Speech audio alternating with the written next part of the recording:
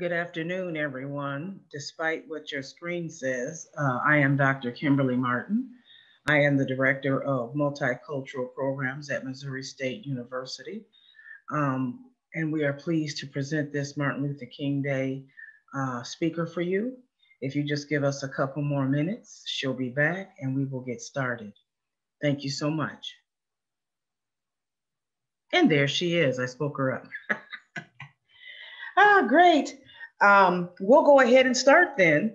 Uh, I'd like to start off by welcoming everyone to this uh, Martin Luther King event. Uh, all the more poignant in uh, the times that we, we now find ourselves in.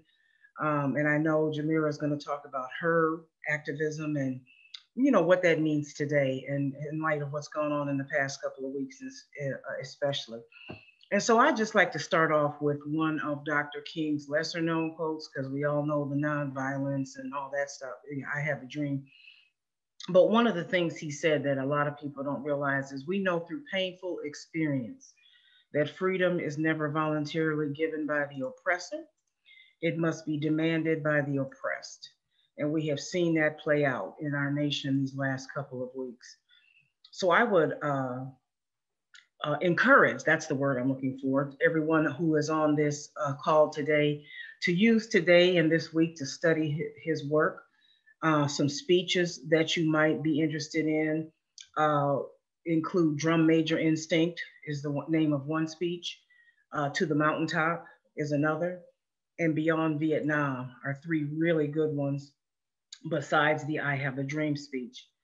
Also, some books I'll recommend for you is Drum Major Instinct, To the Mountaintop, and Beyond Vietnam are some of the non-conventional uh, book titles uh, that he uh, that was written about Dr. Martin Luther King and his work. And so before I introduce our speaker today, I'd just like to say, um, please use the question and answer feature when you have questions for Jamira. I will moderate those for you. Do not use the chat. And so without further ado, let me tell you a little bit about our honored speaker today. Jamira Burley is the head of youth engagement and skills at Global Business Coalition for Education. She has worked at the intersection of policy, community, and social good, and she provides unique insight that will actually help change, actualize, excuse me, the change we all desperately need. Coming from a family where both of her parents and 12 of her 13 brothers have been incarcerated. Jamira's advocacy is very personal.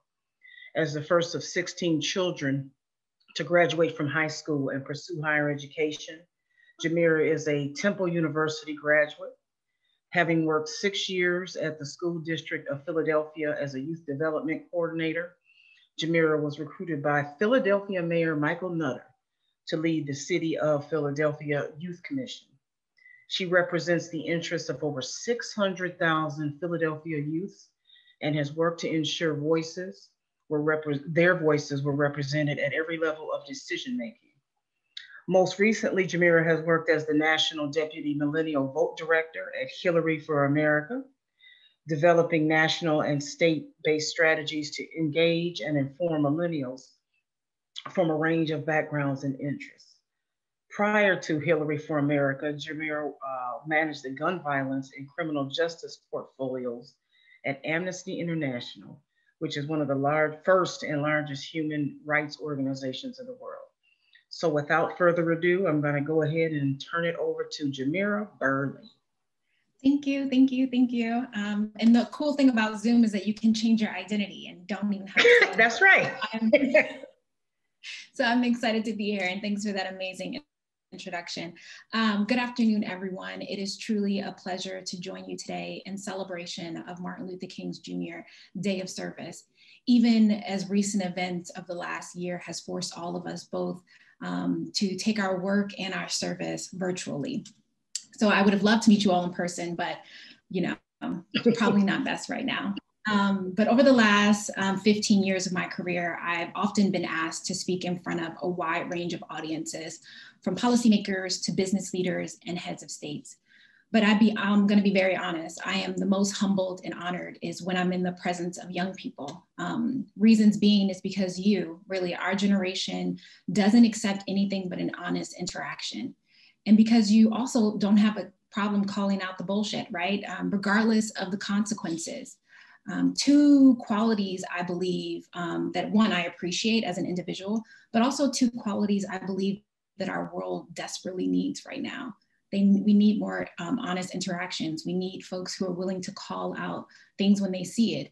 Um, because I think it's very indicative of the life and legacy that Dr. King le led, which is to once you see something, you have to say something and you have to do something. Um, so before I get started, I would like to first thank the organizers for inviting me to participate in today's event, um, but more importantly, you know, for cultivating this space for you all today.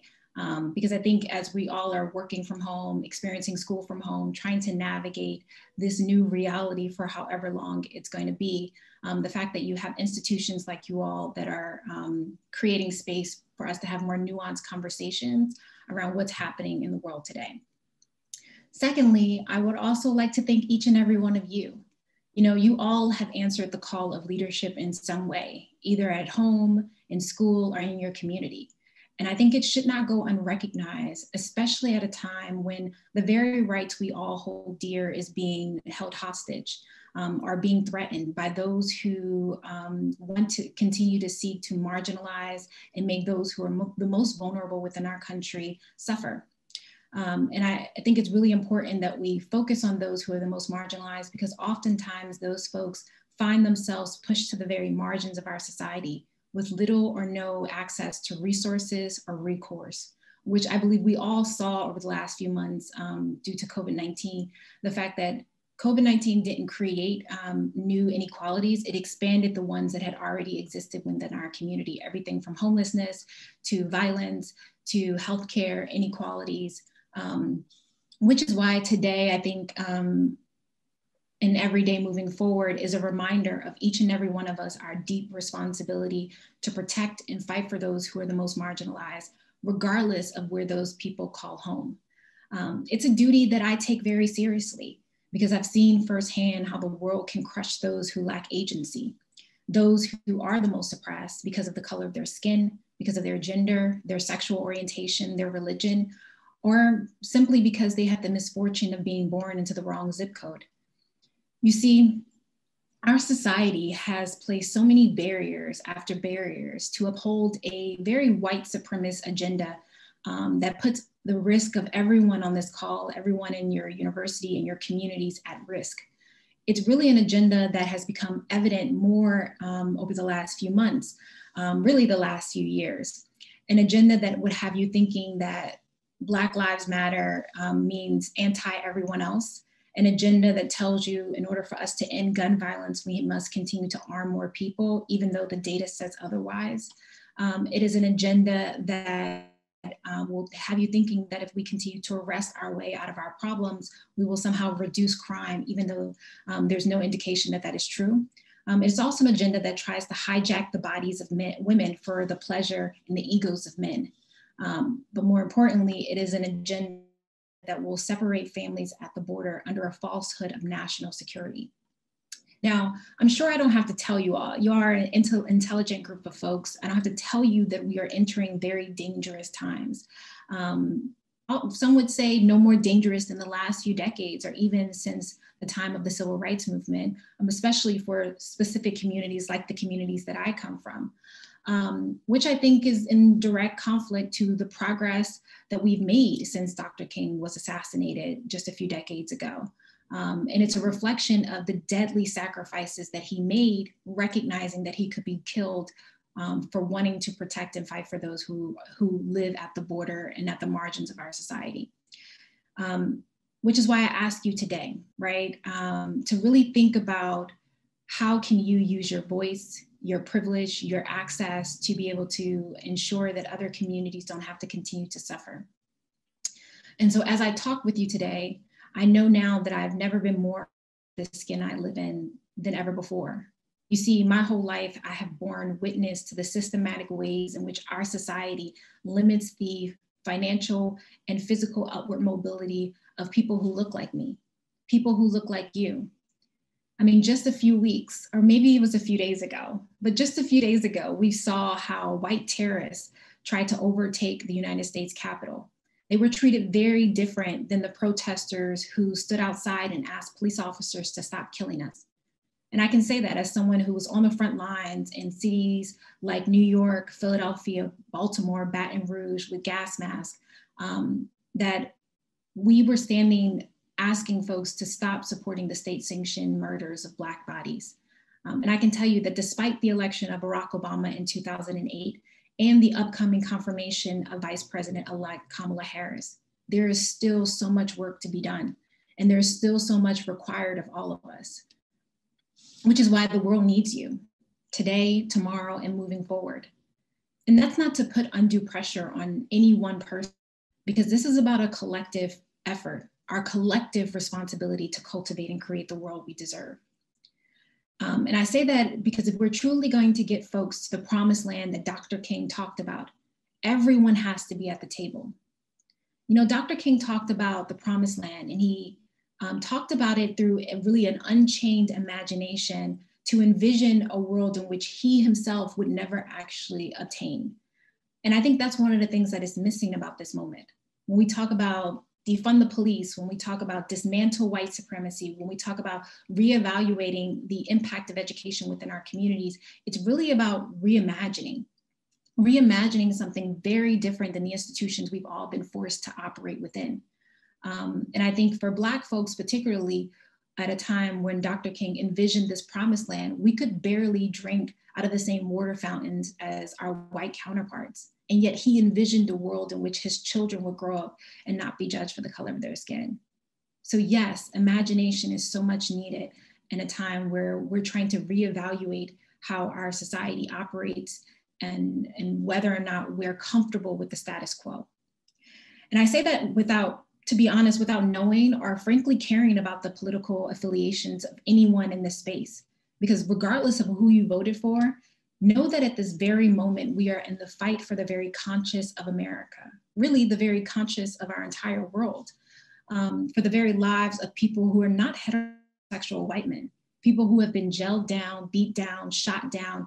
And we have the nerve in this country to call that justice. But what really is justice? World and the law does not see you as equal, let alone as human. What is justice when the place you call home will question your citizenship?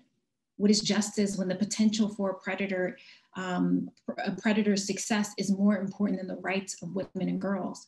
What is justice in a world in which the American dream is really only attainable and accessible by the chosen few, by the affluent, and by the super educated? Now, it wasn't too long ago that I was sitting exactly where you are today. Maybe not the exact seats, but I was sitting in the classroom setting as well. Um, and as a student, I was trying to figure out who was I, try to figure out what kind of impact did I want to make? How did I want to show up in the world? And more importantly, what did I want to do with what I knew to be true? You see, I had arrived at college by sheer determination, but also because I was lucky.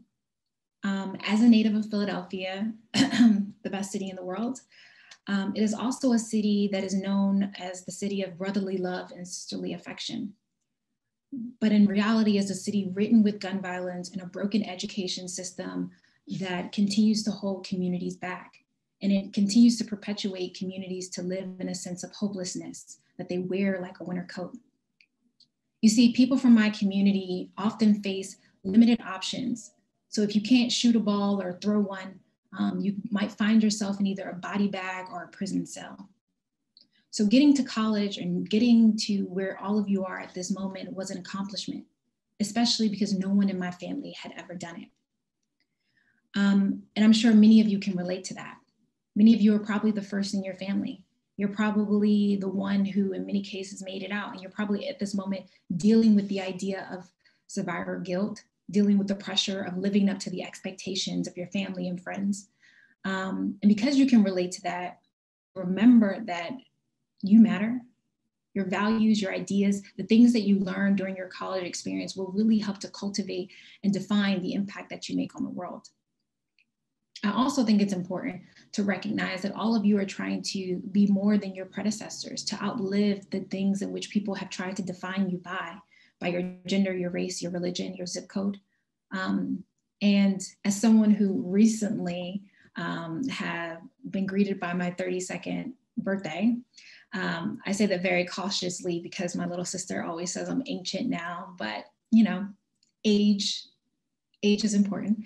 Um, I say that because 15 years ago, when I started this journey of social justice, when I started on this pathway of really fighting for those at the margins, um, I was a 15 year old girl confused.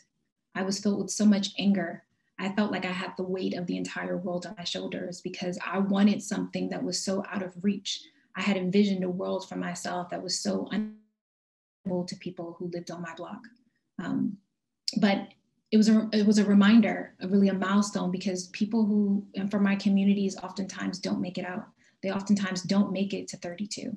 And so I carry that responsibility with me oftentimes to bring the stories of those who I know um, will never enter the spaces and places that I've gotten the opportunity to. I grew up in a world in which um, very much folks would say I am the product of the war on drugs.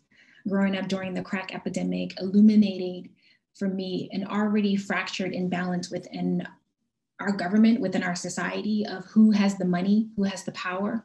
Um, and it also is one that can continues to perpetuate itself today. You see, I was raised in the West Philadelphia area, um, known mostly for producing the likes of Will Smith. That is my claim to fame, I like to tell folks. Um, but more importantly, known for um, the best cheesesteaks and water ices you will ever have. So if you ever get a chance to go to Philadelphia, please do so. Um, but I was born to a teenage mother who had her first child at the age of 15. And by the time I was old enough, um, I was surrounded by 15 siblings in a household that had long since forgotten the sound of my father's footsteps. Um, for he had found um, home in an eight by eight cell, unknowingly setting into motion my older brothers following in his path and continuing the generational cycle of trauma.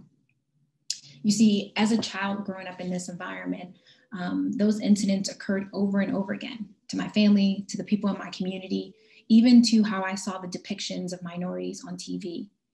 And it really aided in my view of how I thought people were treated versus what they deserved.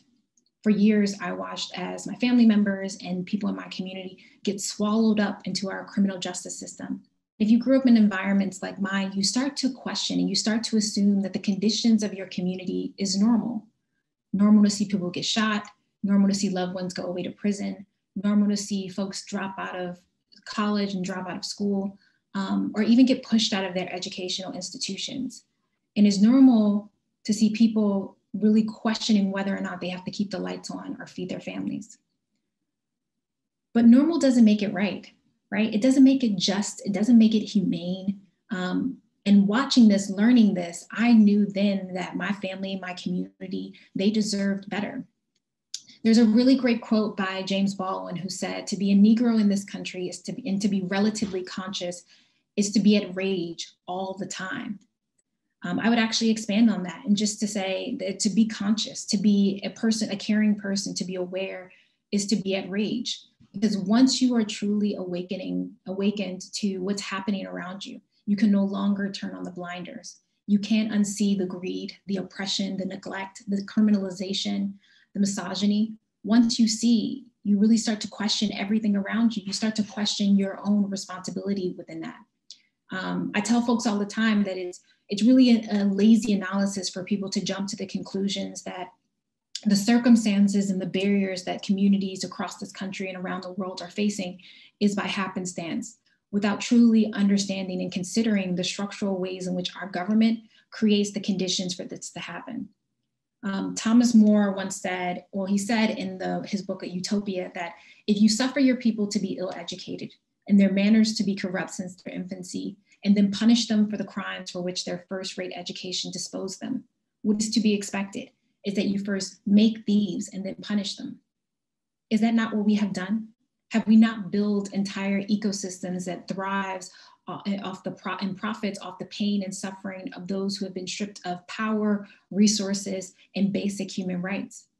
Have we not created an education system that at this very moment is filtering thousands of children into the school to prison pipeline or to school to deportation.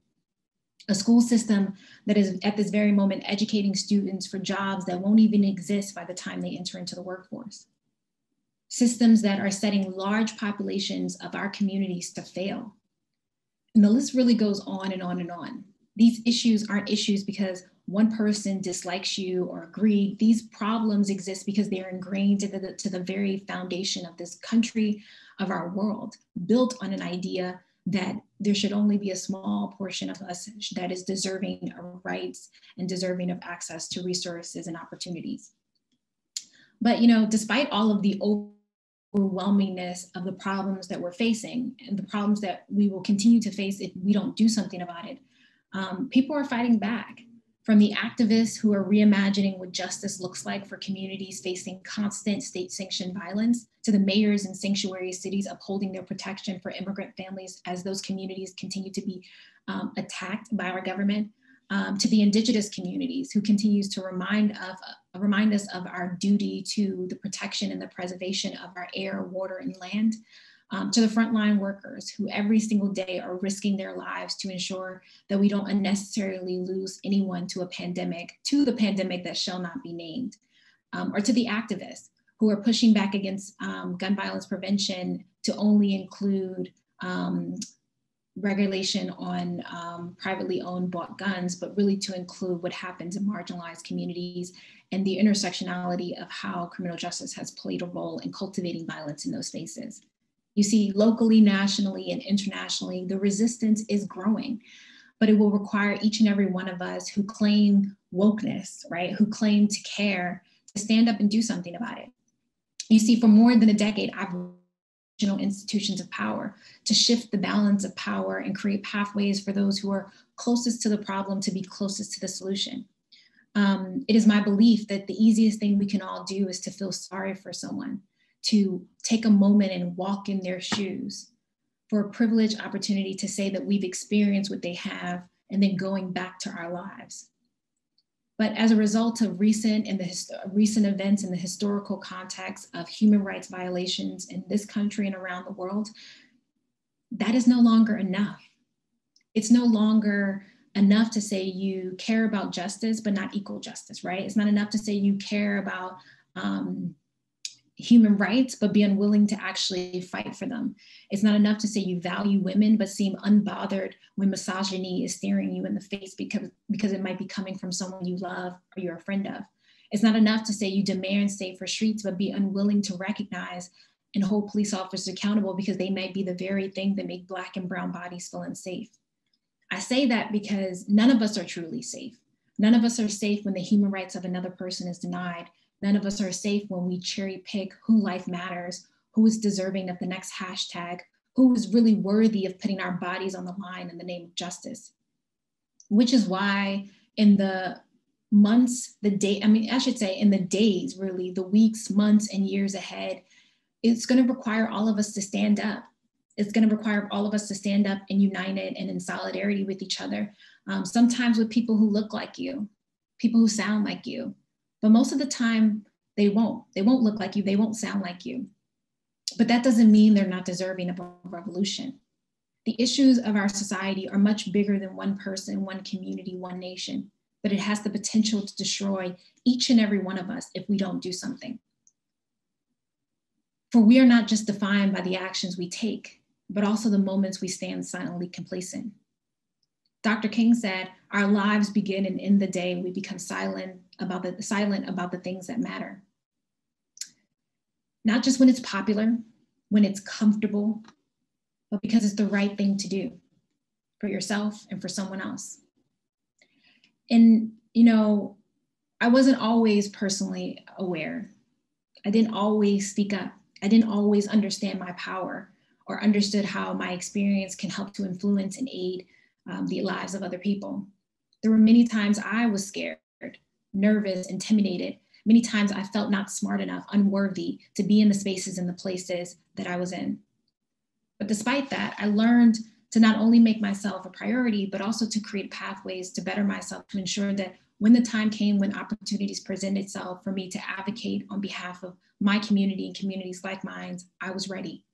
I learned to walk into spaces recognizing I was invited because I was deserving, regardless of what community I came from. And I say that because from a very young age, I knew the life that I was born into wasn't the life I wanted to live. I had watched gun violence rip through the streets like hurricanes. Um, and they say bullets have no names, but I remember a few. I remember my brother Andre, who was 20 years old when he was killed in 2005. I remember my cousin Kyle, who was shot and killed in 2016, or my nephew Quadir, who was shot and killed that, um, just two years ago. Now, I share all of this with you to understand that regardless of your circumstances, you, you and they are changeable if you want them to be. You may not be able to change every single thing that happens to you, but you can change the world to ensure that it doesn't happen to anyone else.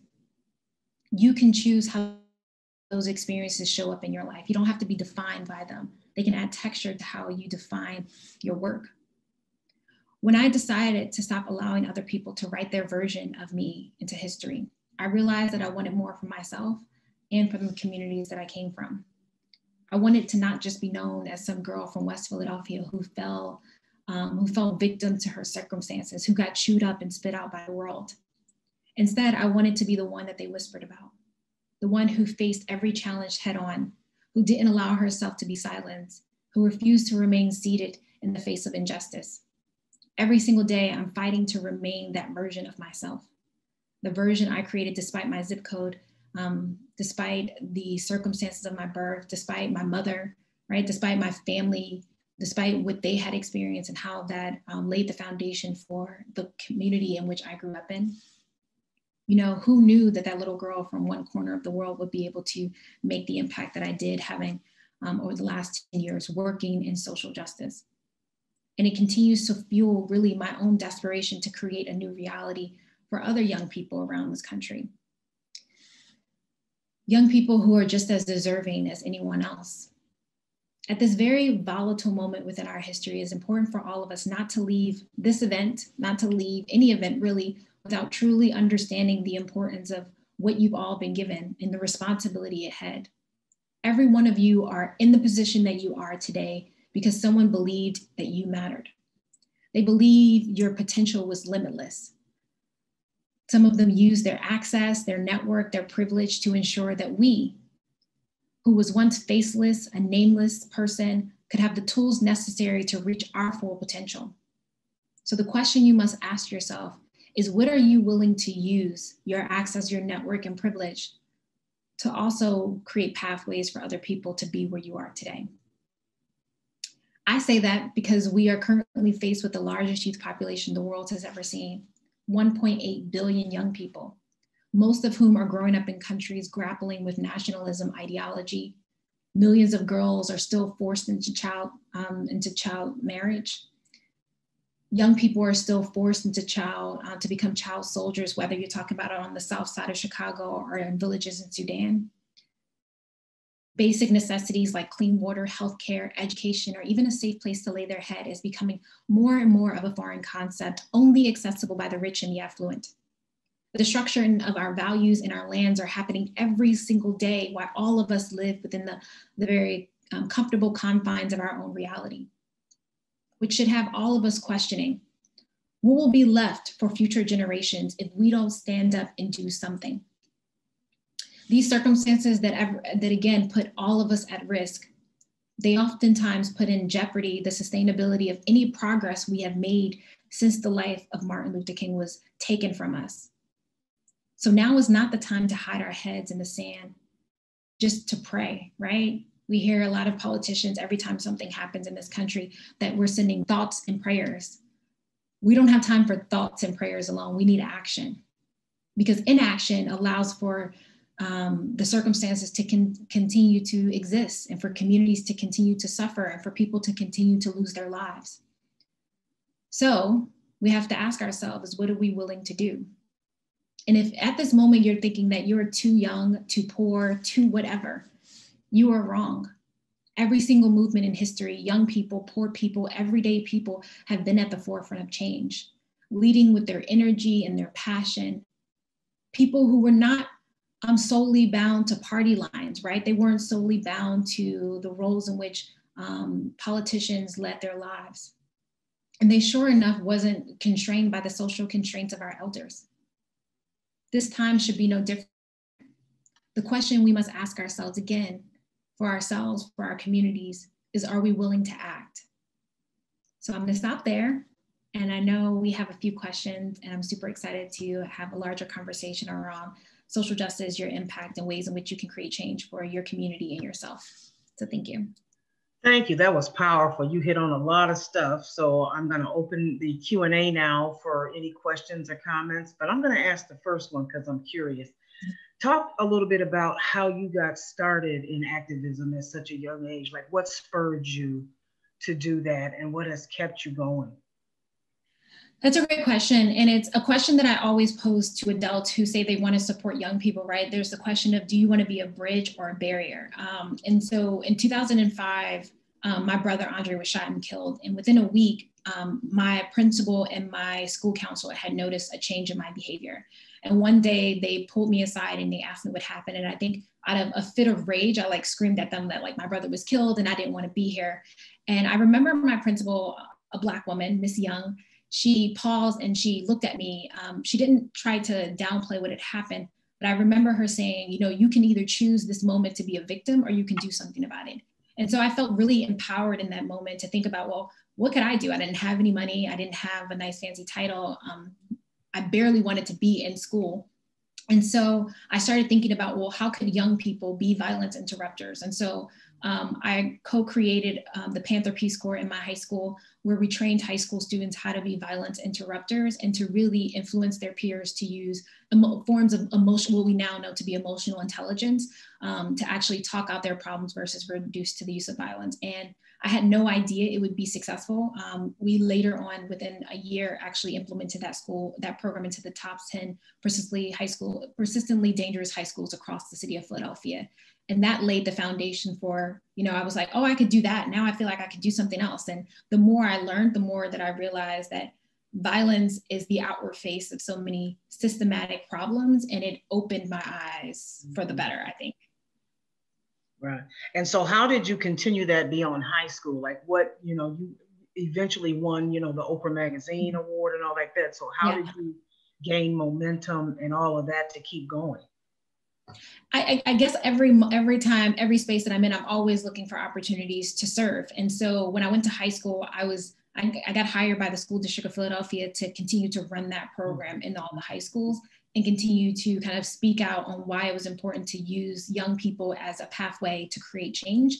And so through that, I actually got um, had interactions with then former Mayor Michael Nutter, who was in the process of formulating um, the Philadelphia Youth Council which would actually be appointees of city council members and they would sit at the table when policies were being developed that would impact the young people across the city. And so he decided to hire me to help lead that work. And since then, I've now realized that it, it's a part of my professional career. Like I want to continue to serve in a professional capacity. Um, and so through that, I think folks, you know, I like to tell people all the time that how I've been successful is because I create, people realize that I'm actually trying, I'm doing this for all the right reasons. Mm-hmm. And so they continue to want to invite me to the table. But now that I'm no longer a young person, according to my sisters, um, I'm always thinking about who can I bring, can I pass off an opportunity that enables for their unique experience from their generation to be able to add texture to the conversation. Hopefully that answered your question. Yeah, it did. Um, I'm going to share with you a couple things in the chat in the question and answer. One, the first one is no question. I just wanted to say that you are an absolutely amazing speaker. Such powerful words. I got chills. So you're doing a good. You're doing some good here. Uh, we do have a couple of questions though. The first one is thank you for your vulnerability today. Uh, my question for you is how can we as young people make a difference when we are constantly being told that we are too young?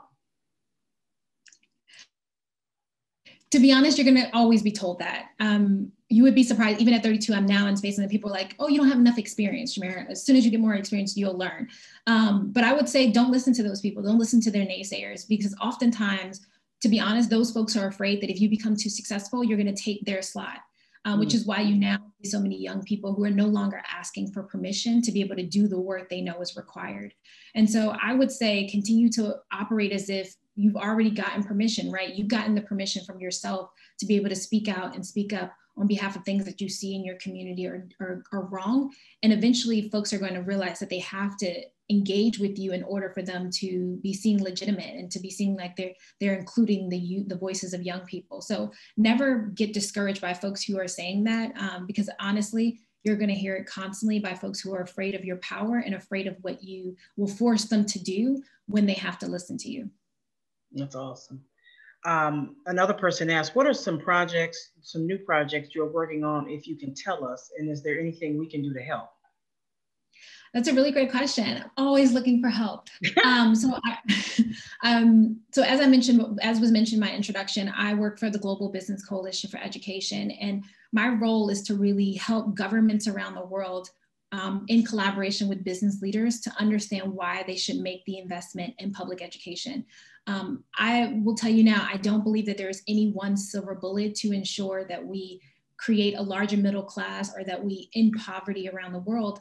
But what the data does tell us is that when young people at the very baseline have a comprehensive education that meets the demands of the, the workforce of their time, that you actually can ensure, um, you can actually see the numbers decrease in so many other issues um, or so many other inequalities. And so one of the issues that I'm working on is continue to raise the awareness of why we should better invest in public education. And I think that conversation is starting to happen more here in the US um, mm-hmm. because our grade K through 16 is like trash or K through 12. Um, and the second thing that I'm working on is we know that criminal justice reform is going to be a huge issue new administration. We have more individuals currently incarcerated than we had at the height of slavery. Um, and so we need to really start thinking through how, what does safety look like?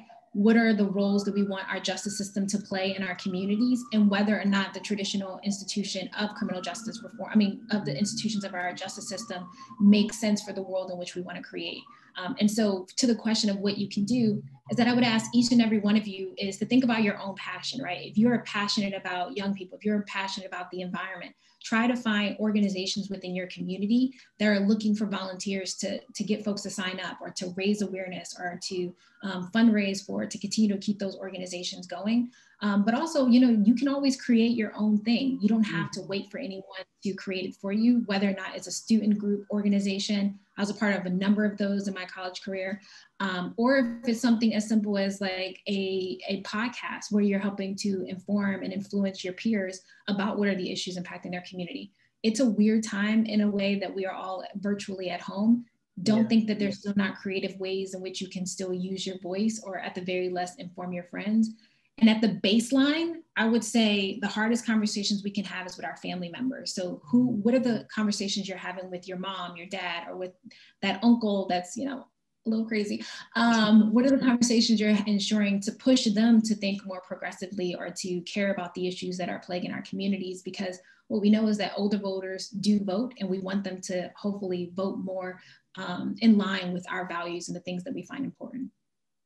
That's great. And I just want to add to those students of Missouri State University, if they're, as the director of programs, multicultural programs, if there's anything my office can do to help facilitate uh, what Ms. Burley is talking about, please don't hesitate to reach out. Here is a very good question, because I know we have all felt like this, especially uh, with 2020. Did you ever have a moment where it seemed like nothing was changing and you just wanted to quit and let the system be? Oh, for like the first 10 years of my life, I mean, 10 years of my career. Um, when I started talking about gun violence back in 2005, it wasn't a sexy topic, right? Activism wasn't cool, where you now see activists like getting brand deals and are getting their own TV shows. Back in 2005, no one was talking about gun violence in a, in a, on a national scale, particularly when it pertains to Black and Brown bodies. And so I was very disheartened that there was never going to be any massive change, which in part was one of the reasons why I started to look at well, what are the root causes? Because maybe if I can't get people to talk about gun violence, I can get them to talk about poverty. I can get them to understand that education was a pathway to prevent gun violence from happening. And um, and so I'm excited that over the last five years, we've seen the transition of so many other communities now talking about gun violence or talking about criminal justice reform in a more holistic way that includes, right, from the children, the students at March for Our Lives who are saying, actually school violence, we can't just talk about school shootings without talking about urban, urban violence and how those two things show up differently.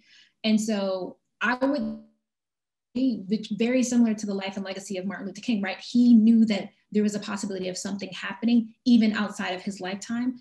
And so we should recognize that the work that we're doing isn't to say that it has to happen um, and it has to happen now in order for me to do this work. The right. question is, how are we laying the bricks, the foundation, so the next person who comes behind you continue to add um, to the progress? Change doesn't happen overnight, even if we really, really want it um, because it requires for all of us to change attitudes, systems, and policies. So again, look for look for those opportunities to get um, small successes, but really the work is oftentimes years long or generational generationally long. Um, but it doesn't mean that you shouldn't do something about it now, even if it may not come to fruition for years to come. Right, and that, yeah, that brings. yeah, that brings to mind, you know, a quote from Dr. Martin Luther King when he said, I may not get there with you. He was fully mm-hmm. aware that he may not get to the promised land or whatever with us, but he still uh, proceeded with his, you know, his, I would say mission in life to do what he did. And also, I'll just do a side note for any of you who have Netflix, a really good movie that kind of illustrates this that just came out is called One Night in Miami. Mm-hmm. It's about, uh, yes, it was good, wasn't it? and Jim um, Brown, Muhammad right. Ali, um, Malcolm Jim. Brown, Muhammad Ali, Sam Cooke. Sam Cooke and Malcolm X. And in they, the same hotel room. Right. And it was just for the people who may not have seen it yet, it it explores their early, you know, thinkings of who they were and where they were going, and that they all had different roles to play and that they may not they understood that everything's not going to happen at once and also that they may not be around to see it so i just recommend that this week for anybody who has netflix um, yeah and it's a reminder to your point yeah i was just going to say it's a reminder to your point that we all have a different role. No one is saying right. you have to in order for you to care about social justice you have to make it a full-time job. You could work in tech and still get them to care about social justice. You can work in environmental justice and still think about like the intersectionality of other issues. Exactly. Or you can be an artist and still like speak up. So find your lane that makes that seems the most authentic to you because then you can show up as a whole person and not just as someone who's doing this for clout. Absolutely okay we got a bunch of good questions coming in how do you deal with people that don't want to learn or change or at least present that way in, initially I mean, didn't we just see that recently? Um, yes. I would honestly say that there are two categories of that, right? There are folks who will never learn, who, to be absolutely honest, we have to put policies in place because they are going to continue to do things that are harmful to our communities or to harmful to communities we care about, regardless of the facts. We've seen that. Then there's the folks who are afraid to ask questions, who don't want to appear stupid, right? They don't want to appear to be asking something that is very obvious. And so I would say is trying to like put those those folks in, in one or the other two boxes because then you can figure out where to, to put your energy. Is the don't put your energy at folks who are never going to change their mind, who are going to suck the the inspiration out of you because mm-hmm. they are very much ingrained and believe in what they want versus go to the folks who are afraid to ask questions. I learned this really in 2016 when I was on the Hillary campaign because I, I got sent back to Philadelphia doing GOTV, which is basically the week before the election, so get out the vote efforts. And I was encountering so many people who, you know, didn't know because they had previous criminal records whether or not they qualified. And and some of us will be like, oh, maybe you should have just Googled that. But you don't know what you don't know. And I think we all have to create space for people to ask the hard questions or ask this quote unquote stupid questions if it allows for us to have more comprehensive question uh, answers around how we move our people to the promised land. Um, and so, yes, forget about the folks you will never change. Focus on the people who are willing based on whether or not you have the the energy and the um, the time to really invest in folks who want to learn but don't know how to ask the question or to find the answers.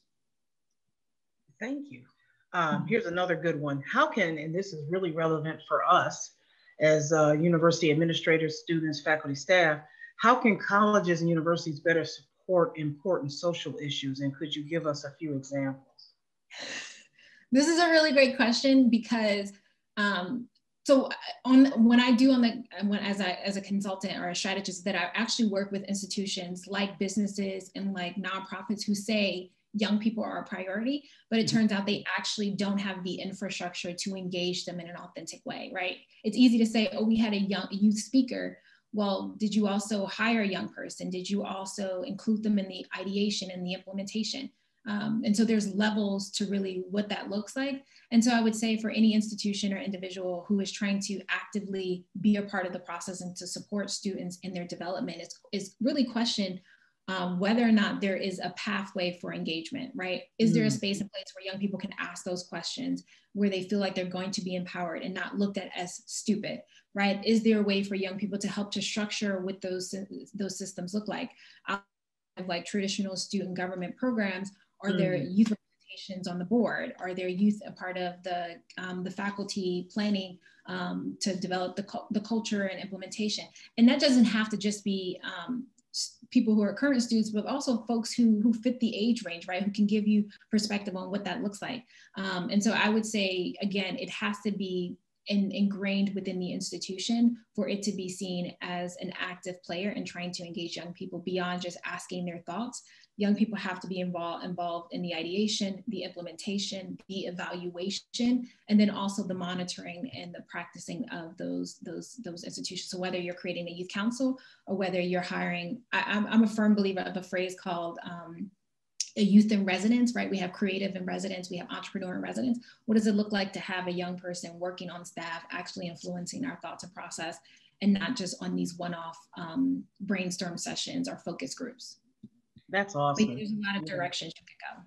Exactly. Oh, I enjoy that, especially as the work that I do.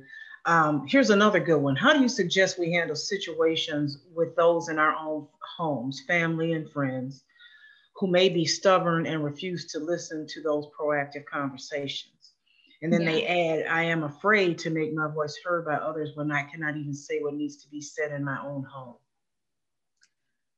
That's a hard question. Um, and I would actually go back to what I said earlier about those two categories of people, because we also are related to both sides of the coin, right? Um, right? People who, regardless of what information you ever present to them, they are invested in the reality in which they've chosen to exist within. And you really need to figure out whether or not it's it's safe, whether it's not productive, whether it's productive to even trying to engage those folks. Um, and I say this as someone who comes from a, a Black family, comes from a family that um, have seen the downfalls of our society, but there's still some folks who, um, particularly on my more um, Caucasian side, who are very much um, believing what they see or, or told by, by, by institutions like Fox News, versus there are people in your family who you know, maybe you don't want to have an entire family discussion with, but maybe a one off conversation. Or maybe you just want to subtly share um, a resource like an article or a video and like build that up over time. You also can't assume that one conversation with them is going to change their entire mindset. Um, but I say that they're very, um, we should be a little bit more cautious in how we engage those folks versus random people in the community only because these are people we share blood with, right? We care about these folks, we love them, and we want them to be successful. But I will say, over the last few weeks, we've seen a lot of young people call out their parents in very public ways. So you often also have to question whether or not a belief that your family member has actively puts you in danger or actively goes against what you believe in and make a conscious decision before you have a conversation what are you willing to deal with versus what are you not willing to deal with right? I'm not willing to deal to engage with someone who doesn't believe that that police shouldn't stop shouldn't stop killing people who look like me. I'm not willing to engage with people who don't believe that misogyny exists and that women are constantly being judged by what they're wearing versus what a predator did to them. And so make a decision before you decide to engage anyone in your family what you will and won't deal with. And then again identify them as the two categories of people who are not willing to even have a conversation with you. They're going to believe what they want to believe versus the people who don't have the information and need someone to help guide them through that process or at the very least receive additional resources to get them there. Yeah, that's a good point. And, and one kind of extreme example, Jamira, and I, you probably have heard about this. One young lady turned in her mother, her uncle, and her father um, because she was, I guess, ostracized from her own family for being a lesbian. And then mm-hmm. they told her not to go to Black Lives Matter protests, whatever. Then she saw them on the TV, you know, doing things. Have- right. One of them had a busted lip. I think it was the mama. But anyway, uh, she turned him in. Now, we're not suggesting that you do that to your family, but that's just an extreme example. You have to figure out, like Jamira said, is something that somebody holds as a belief going to directly harm me as a person or my personhood. So I just threw that out there. Uh, here's another good one. Thank you for being here with this important information. I am fully inspired. Can you please share a moment when somebody used their privilege to elevate your voice? And also when you elevated somebody else's voice with your privilege? That's a great question. Um, I am extremely lucky because at every major milestone, I always had some mentor or someone who saw potential in me. Um, so I guess what a most recent incident is um, during the DNC, um, the Democratic National Convention, um, conversations that I was not privy to, I wasn't a part of. Um, they were in the process of designing one of the talks to then candidate Joe Biden. And they said that they wanted to have a conversation around what does violence look like around America? Who are the different um, types of people who are trying to solve violence in communities. And they knew they wanted a young person. And um, a young lady who I previously engaged with when we were both on opposite sides of, in 2016, she worked for um, Bernie Sanders, I worked for Hillary Clinton. Um, Symone Sanders is, is, that, is that person. She recommended me because she knew that not only was I just someone out speaking about why young people should be a part of the conversation in regards to violence prevention. But also, I, I was someone who had actually worked for the last 10 years in different institutions on that very same issue. So I could add much more context to just an opinion. And so that was an opportunity where, again, th- there's probably hundreds of people she could have recommended, but she thought that as a Black woman, as someone who was directly impacted, but also someone who worked in the space, could be a good voice for that, that work. And how I try to elevate young people, um, particularly, is you know, to this day, I still get asked to be a youth speaker. And instead of me taking those opportunities, which pays really well, um, I always recommend another young person because I think it's really important for us as folks who come from impacted communities to not allow our individual experience to be too tokenized, right? To be seen as the only version of events and so I, am a constant believer of like, how do we continue to add different versions of events so people can understand that these issues impact different communities very differently, um, even if they are um, harnessed by the same institution. And so I'm constantly thinking about who can I bring along as a person plus one, what opportunities can I pass on to someone younger or with a different experience? Um, because you know what's yours is yours, and you don't have to see this space as a competition, but as a collective effort for all of us to get again to the promised land. That's awesome. An opportunity. I'm going to remember that in my own personal life. The opportunity to add a plus one. Mm-hmm. Um, this is a really cute, good question. Um, how do you get young ones involved? My daughter is almost 10 and is always asking what she can do to help. Oh, I know, um, right? I love the young people. I'm just like, oh, I can retire now. They're ready to leave. They have say no more. Um, I would uh, two things that I would say is one, I would be curious in conversation with her, like what is she interested in, right? What, why do she want to get engaged? Um, um, how does she want to specifically harness her own statute, right? So if she's in, I think 10 years old is what middle school, so old. Yeah. Mm-hmm. Middle school. Yeah, thinking about like what programs already exist within her her her space so in her school in her local community that she can sign up with um, there are a number of national organizations that have local chapters that do leadership development programs. Um, everything from the naacp to student voice which is an organization run by students for students for education. So there are thousands of youth organizations that welcomes new young people to be able to be a part of that process to get more educated in the issue. Um, so i would first say definitely have a larger conversation with her about what she could be potentially interested in, and then narrow down who to potentially expose her to based on the topics, the subject area, or looking at those other holistic organizations like Young People For who are training youth leaders um, to kind of set her on a pathway to success. But I'm excited to hear that even at 10, she is thinking about like how she can get engaged because young people can, I think, if we continue to harness them and celebrate them and empower them, um, we don't have, they don't have to wait for permission to do the right thing. And hopefully that will make all of our lives much more simpler. Absolutely. um, I forgot who said it. It's easy to build strong adults than to rebuild, to repair broken men and women. Mm-hmm. And so it starts early. Yeah, I was going to add one of the people that uh, I've been inspired by that was a, is a sort, he's a young person still, but um, his name is David Hogg, and I don't know if yeah, you yeah. him. He was part of the Parkland. I think that mm-hmm. was his high school in Florida They got shut up.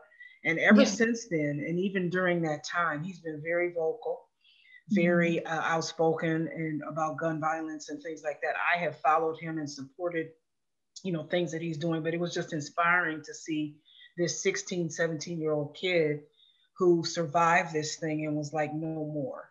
So mm-hmm. um, I would just add to to find people like that and you know encourage them to follow them on social media or just see what they're doing. There's a ton of stuff. Um, exactly. Our young people are already on social media, so like the question is, how do we ensure that they're consuming information from folks who are on the path that they themselves want to be on, like yes, David? Absolutely. Um, this is a good question to kind of end uh, as we come to the end of the hour, but I thought it was very pertinent. In spite of the inauguration and general nervousness for the election, what words of advice or encouragement can you give to BIPOC who are scared about possible backlash? I'm sorry, say that last part again. Uh, what words of advice can you give to uh, BIPOC, Black, Indigenous persons of oh. color who are scared for possible backlash uh, regarding everything surrounding the inauguration? I know it's a big question, isn't it? It's a big question because I have friends who work in the advocacy space who are debating on whether or not they themselves show up as a counter protest to what mm-hmm. we know are going to be happening around the country.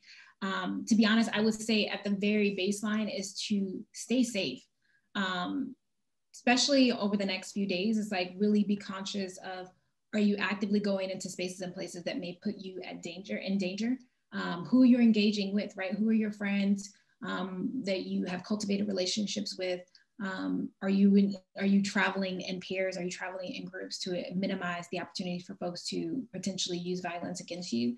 Um, and then also, to be honest, we're all going to be facing um, there. There are millions of people who are in opposition to us. We saw that with the election, right? I had no idea 70 million people would still vote to keep a racist, sexist, xenophobic person in office. But it's a reminder that whiteness is a disease, right? That doesn't just impact whiteness, it also impacts our systems and our policies. And so I would definitely say, you know, look for places to be supported, um, and not necessarily put yourself in danger. And then also, to be honest, every single moment in history when we've ever had any real progression or success, there's always been a white backlash. There's right. always a white backlash. And so this is not new to our generation. The question is, how are we still staying motivated and positive to keep the work going despite folks who will hate us and not allow us to get access to resources and opportunities? Right. So basically, let, them, let those folks kick rocks with no shoes on um, and go about your day being great and amazing. That's awesome.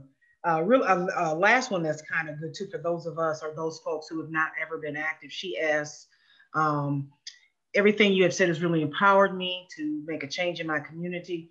Uh, what suggestions do you have for a woman who wants to make a difference in her area when she has never really gotten into activism before? Learn.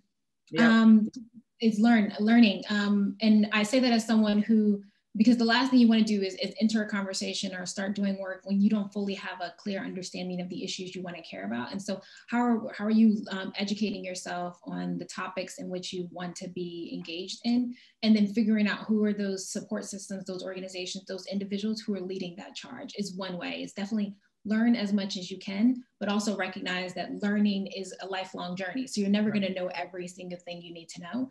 The second thing I would do is like, how are you joining organizations or donating to organizations that are elevating and are supporting the, the, the version of the world in which you want to create?